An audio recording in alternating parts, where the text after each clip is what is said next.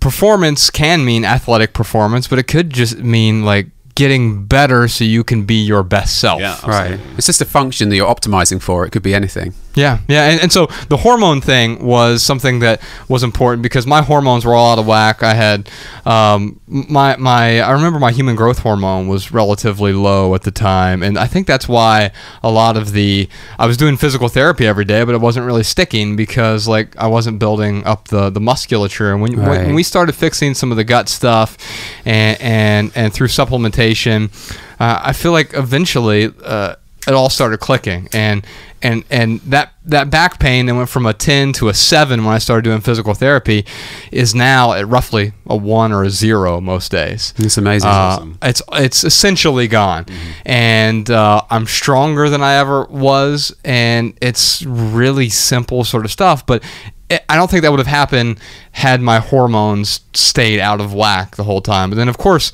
my libido was through the floor. And now Bex has to fight me off every day. um, it's, uh, I mean, it, it that I, I can tell you the the the true is sort of test here. There isn't. I mean, we can do the blood tests or whatever. Like that stuff's great. We were just talking about this what, last week, I think.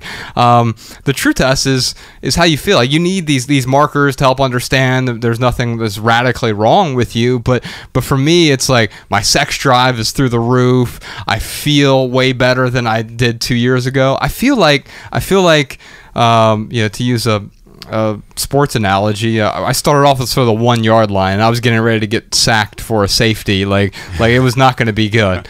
I don't know if this translates. Uh, I don't have any cricket analogies. I'm sorry, No, gentlemen. that, that, that's fine. Cricket, you play for five days and then it's a draw, so you can't quite have the you can't quite have the uh, the, the the same analogy.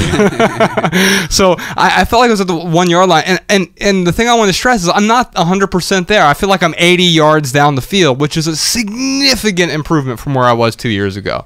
Um, and if, if you were to go back to my my 35 year old self and say, hey, if you put in an immense amount of work, you're going to get 80% better over the next two years, I would have said, hell yes. Yes. Yeah. Like, whatever I can do to get there. Also realizing I'm still headed in the right direction. Mm-hmm. And the changes from here are going to be especially incremental because to get that last 20% is like figuring out what are the sort of edge cases, what are the, the slight tweaks that I need to make mm-hmm. because I've made all the dramatic tweaks and, and I've made a bunch of other small tweaks along the way as well. And so I I still feel like I'm you know 80% of the way there. I still have some chemical sensitivities. Um, they're uh, considerably less than, than what they were. But I was at, at Podcast Sean's uh, new apartment yesterday, and he, he just had it remodeled. Uh, and I walked in there within half an hour. I started getting a little sore throat and a little runny nose, and I'm like, oh, okay. Like I, I I realize I still have some chemical sensitivities, right? And I still have um, some tiredness that that I will experience, especially in the afternoons. Even though I have a, a relatively low carbohydrate diet, it's not like I'm eating you know three bowls of rice for lunch and then crashing.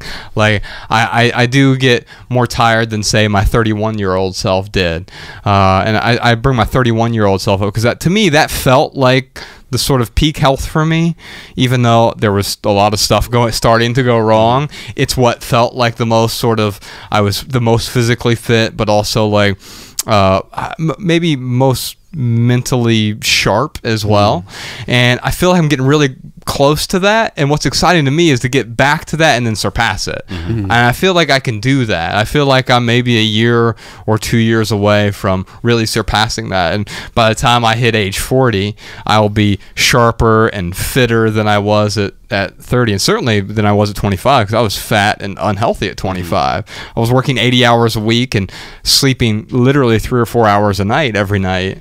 And I didn't realize how unsustainable that was. Hmm.